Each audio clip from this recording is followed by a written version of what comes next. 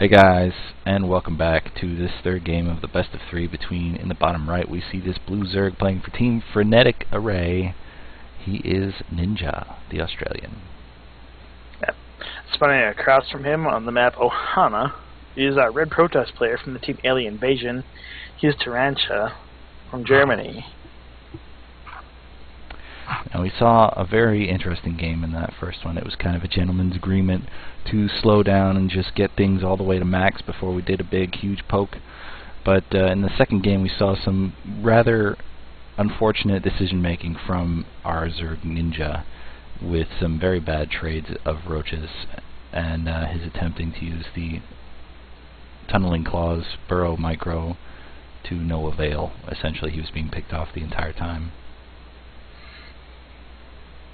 Yeah, that really early, really, really early, like endgame army from the Zerg player in the first game was just completely outmatched, or unmatched, I There guess, by the Protoss player.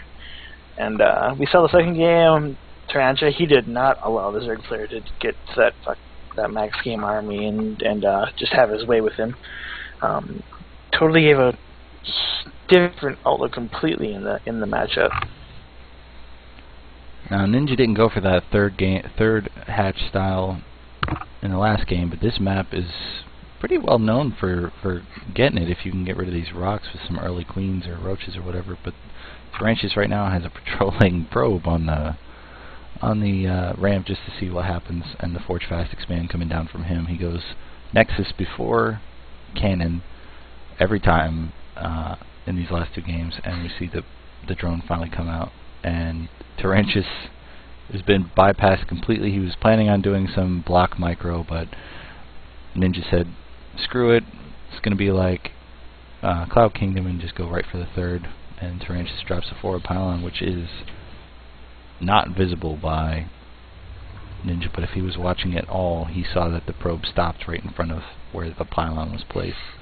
Yeah, I wouldn't be surprised to see a cannon come up here to uh, just, you know, delay that hatchery and possibly even take it out, make him move straight back to the natural with his hatchery. Oh, and he put the cannon in vision. That is... Whew. He's just challenging him to cancel this right now. Um, I don't know. Oh, and a pylon he- block he in the natural. He's really putting Ninja on the back foot here. Yeah, this is I why you super frustrated, and we're only three minutes fifty seconds in. This is the exact reason you don't hatch first against a Protoss player. Um, uh, he didn't, but it's the same kind of idea. This is this is why, because this is so much things they can do. He's gonna he's gonna end up canceling this this first hatchery, and uh, he's gonna if he wants to keep himself even in this game, he's gonna have to put some pressure on this first nexus from the from the Protoss player. Otherwise, he's just gonna be on the back foot the entire game. And Tarrantius expects that pressure indeed, having a cannon of his own and a probe ready to to block with gateways. Oh wow.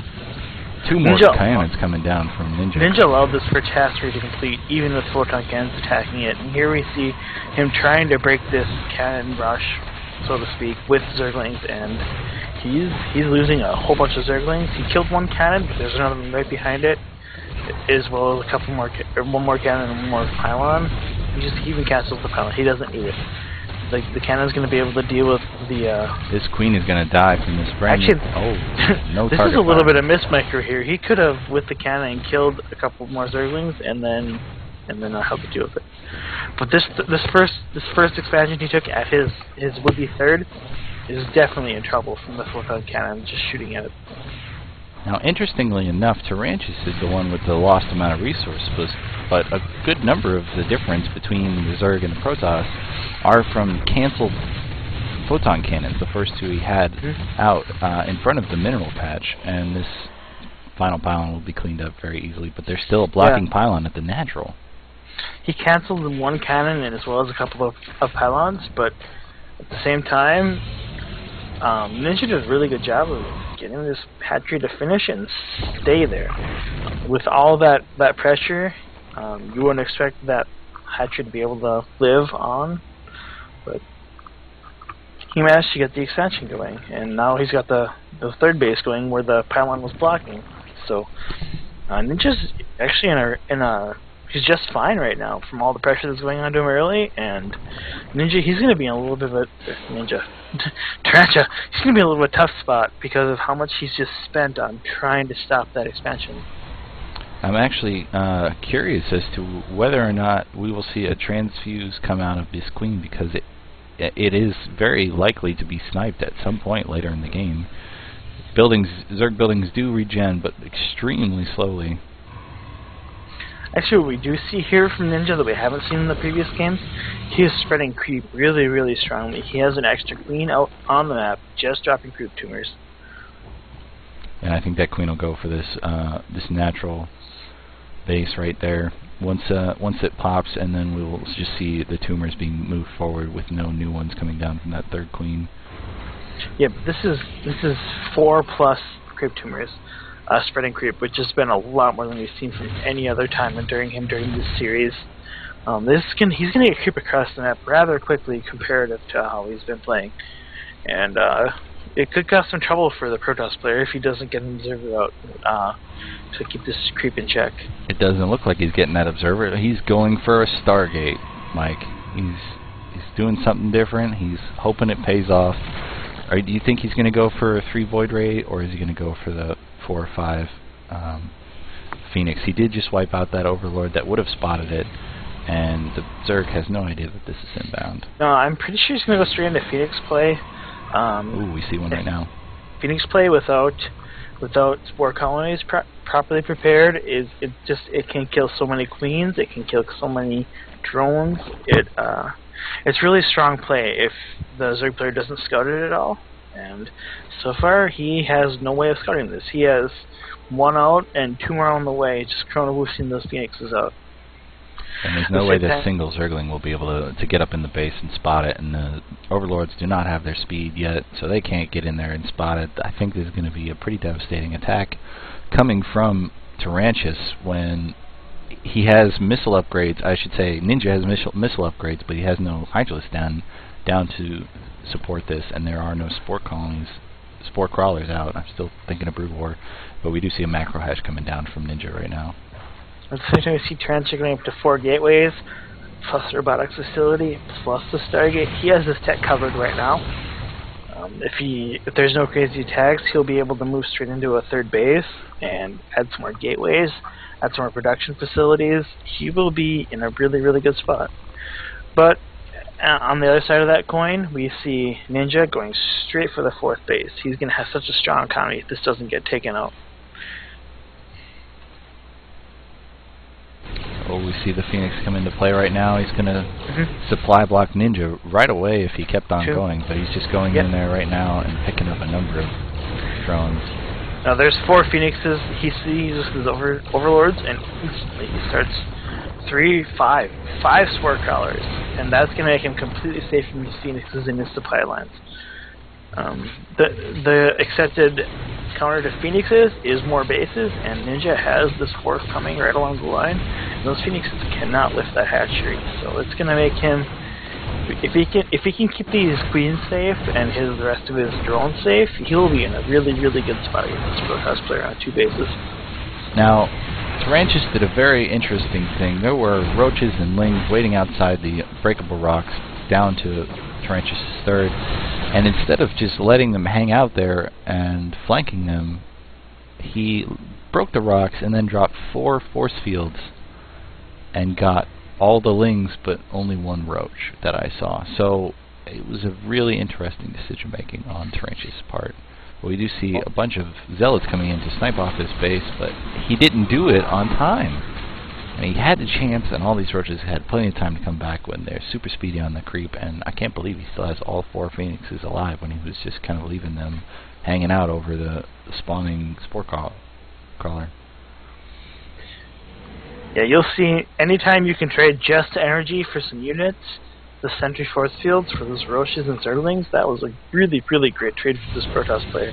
He's to have plenty of time now for him for his uh, sentries to regen the energy, as well as you know make more units, get his tech more uh, advanced, and he'll be in a really good spot.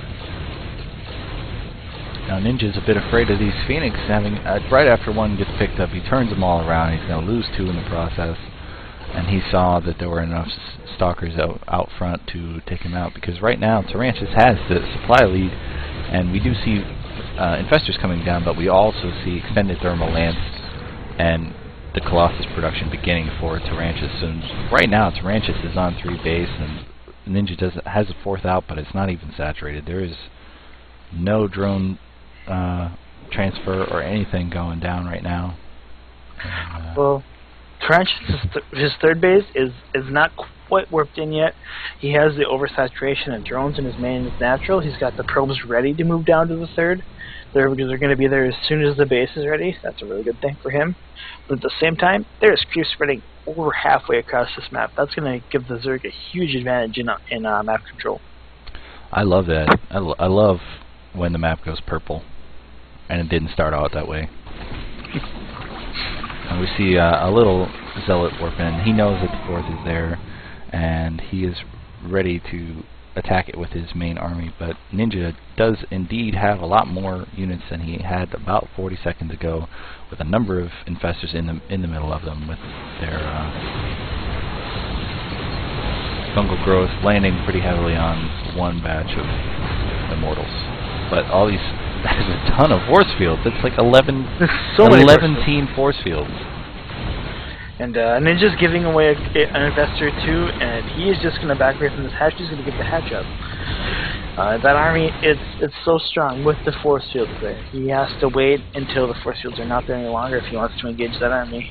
Um, at the same time, he has the freedom to take the fourth base on the west side of the map, as well as as soon as he can deal with that army, that the base that he just had is also relatively safe, but that is a really scary army. It's full, full of Colossus, uh, uh, four mortals, three, three or four mortals, four mortals. Yeah. That's right the first name. He has only one Colossus though. Oh, a second one comes in. He's going to be very lucky. Ooh, Tarrantius is very lucky that that that uh, backup Colossus didn't get sniped off. It was out of the group and could have just been fungled and surrounded by lings right away. Yeah, extended thermal lances is done. Yeah, yeah. Roasted one infestor right away. That is a very awesome graphic. Thank you, Blizzard, for that very entertaining death animation. Yeah, the graphics in this game so so so much better than War. Oh my God! Look at that. Ninja was supply blocked, and now he doesn't really matter because he's just losing so much to Tarrantius' huge army. A couple of stalkers coming down, corruptors coming in, gonna pick off one of the colossi, but it doesn't really matter. Tarrantius is 60 supply up on his Zerg, and we do so see some very desperation lings coming up. They're not gonna do anything. Um, Tarantula, he is he's done a really good job of just constantly adding to his army with his gateways and Trench or Ninja, he just was not ready for it. He had uh, he had units ready to deal with the Colossus, but did not have anything to come from these Immortals. These Immortals are doing so much damage. Good game, congrats from Ninja with 81 workers killed by Tarrantius, taking a commanding lead in this third game, and he came back from 0-1 in that first game where Ninja took it, and that will finish this best of three from Kaotic TV.